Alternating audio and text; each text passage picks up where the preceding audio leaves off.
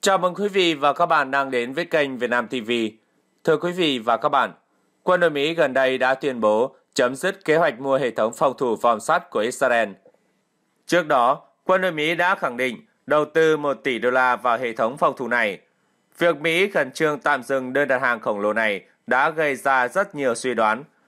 Theo báo cáo của Viện Nghiên cứu Hòa bình Quốc tế Stockholm, xuất khẩu vũ khí của Mỹ trong vòng 5 năm qua chiếm hơn 1 phần 3 tổng kim ngạch xuất khẩu của thế giới.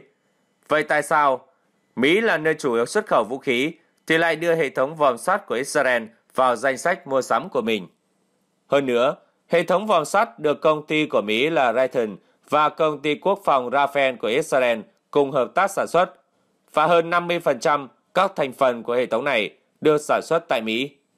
Do đó, sau khi kế hoạch khả năng phòng thủ hỏa lực gián tiếp IFPC của lục quân Mỹ gặp sự cố, Washington bắt đầu tìm cách mua hệ thống vòm sắt từ phía Israel. Quân đội Mỹ tin rằng môi trường chiến đấu hiện tại đang phát sinh những thay đổi to lớn và Washington phải đối mặt với nhiều mối đe dọa từ các hệ thống máy bay không người lái UAV, hệ thống tên lửa tiên tiến và hệ thống pháo hỏa tiến. Trong khi đó, hệ thống phòng thủ vòm sắt của Israel thời gian vừa qua đã thể hiện hiệu quả phòng thủ tuyệt vời với tỷ lệ đánh chặn lên đến hơn 85%. Ngoài ra, kế hoạch vũ khí laser trạng thái rắn, loại laser sử dụng phương tiện tăng công suất dành cho tia laser bằng chất rắn, chứ không phải là chất lỏng hoặc chất khí của Mỹ, thì phải đến năm 2024 mới có năng lực tác chiến sơ bộ.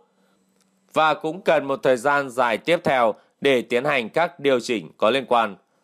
Do đó, quân đội Mỹ hy vọng hệ thống phòng thủ vòm sắt có thể lấp đầy khoảng trống này, đồng thời cũng được sử dụng để thử nghiệm các loại đạn được đánh chặn mới. Từ các yếu tố trên, Quốc hội Mỹ đã phê duyệt mua hai hệ thống vỏ sắt trong ngân sách tài khóa 2019 của lục quân Mỹ, đồng thời yêu cầu trước năm 2023 phải chế tạo hệ thống của riêng mình, nếu không chỉ có thể mua sắm hệ thống vỏ sắt của Israel. Tuy nhiên, gần đây, Bộ trưởng lục quân Mỹ là Ryan McCarthy cho biết rằng hệ thống vỏ sắt sẽ cải thiện khả năng phòng thủ tên lửa của quân đội Mỹ ở một mức độ nhất định, nhưng nó không thể đáp ứng mọi yêu cầu. Nếu như chúng tôi có thể có thêm số liệu từ nhà sản xuất, chúng tôi không thể chắc chắn liệu có nên điều chỉnh hệ thống này hay không, ông Ryan McCarthy đã nói. Tư lệnh Bộ Tư lệnh Quân đội tương lai, tướng John Murray cho rằng trong quá trình tích hợp hệ thống vòm sắt với hệ thống chỉ huy chiến trường tổng hợp của lục quân Mỹ đã phát hiện nhiều vấn đề, bao gồm các lỗ hổng an ninh mạng và các thách thức hoạt động. Ông kết luận rằng, dựa trên một số vấn đề về khả năng tương tác và an ninh mạng, lục quân Mỹ tin rằng hệ thống phòng không vòm sắt không thể tích hợp hiệu quả với hệ thống phòng không hiện có của Mỹ. Thời báo Israel cho biết, Tel Aviv đã cung cấp thông tin kỹ thuật của hệ thống vòm sắt, nhưng lại từ chối cung cấp chi tiết về hệ thống này như là mã vận hành.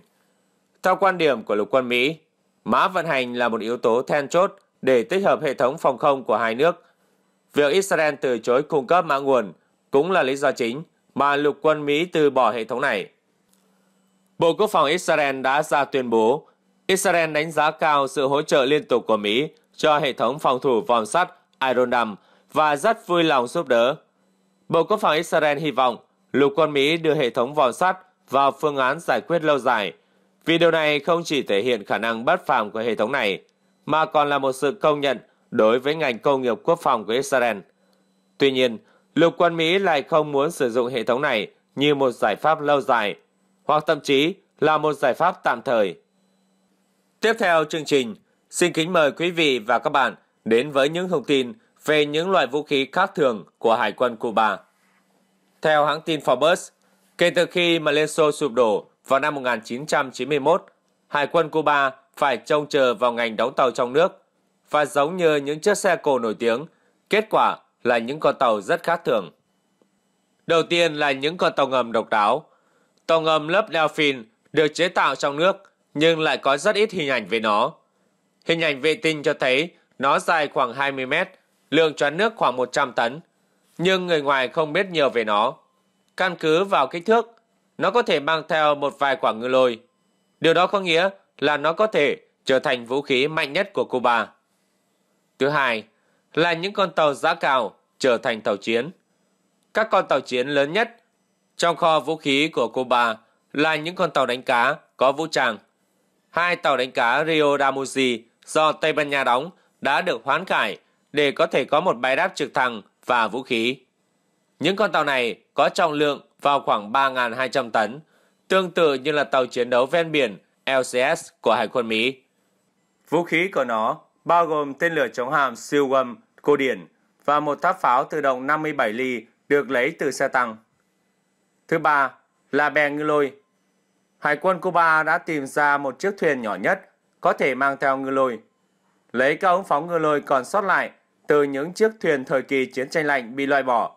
Họ đã kết hợp chúng với một chiếc bè phao. Về cơ bản, nó được sử dụng hai ống thép làm phao với ống phóng ngư lôi gắn ở giữa. Thủy thủ ngồi trên điều khiển cả động cơ phía ngoài và cơ cấu bắn. Số bè loại này đã được chế tạo khoảng 15 năm trước và chúng dường như vẫn còn phục vụ. Chúng có thể là những tàu chiến nhỏ nhất trên thế giới. Một loại vũ khí khác cũng cổ điển không kém, đó là lực lượng tàu ngầm mini. Cỗ xe dưới nước được những người nhái đặc nhiệm của Cuba sử dụng lần đầu tiên và được tiết lộ trong một bức ảnh vào năm 2013. Công dụng của nó tương tự như là phương tiện vận tải của đặc nhiệm Sen của Hải quân Mỹ. Chúng được chế tạo lần đầu tiên vào những năm 1950 tại Ý và được đặc nhiệm Sen sử dụng. Có thể Cuba đã mua được một chiếc từ những người Cuba lưu vong, được CIA hậu thuẫn vào những năm 1960. Cuối cùng là những chiếc tàu ngư lôi bí ẩn. Hình ảnh vệ tinh cho thấy một chiếc tàu ngư lôi được neo đậu tại Havana. Các ống phóng là không thể nhầm lẫn. Nhưng nó không phải là một trong những con tàu Project 123K cũ do Nga cung cấp vào đầu những năm 1960. Nó có thể là thứ gì đó được chế tạo từ thân tàu cao tốc và các ống phóng từ tàu chiến đã bị loại bỏ. Một thông tin khác chúng tôi muốn gửi đến quý vị và các bạn đó là Nga đã xác nhận sự tồn tại của tàu ngầm tuyệt mật Husky. Mới đây, thì tư lệnh Hải quân Nga, Đô đốc Nikolai Emedos đã thực hiện một cuộc trả lời phỏng vấn trên kênh truyền hình Ziveda của Bộ Quốc phòng. Một phần của cuộc phỏng vấn được dành cho các tàu ngầm hạt nhân thuộc các dự án đã hoàn thành, bao gồm 971 và 949. Đô đốc Imenos lưu ý rằng việc sửa chữa và hiện đại hóa tàu ngầm dự án 949, ban đầu là Granis và dự án 971, ban đầu là Sukhabe, có thể tăng gấp đôi thời gian phục vụ của các tàu ngầm hạt nhân này. Ngoài ra, cần lưu ý rằng tàu ngầm hạt nhân dự án Granite 949 đã được chuyển đổi thành dự án Antey 949A.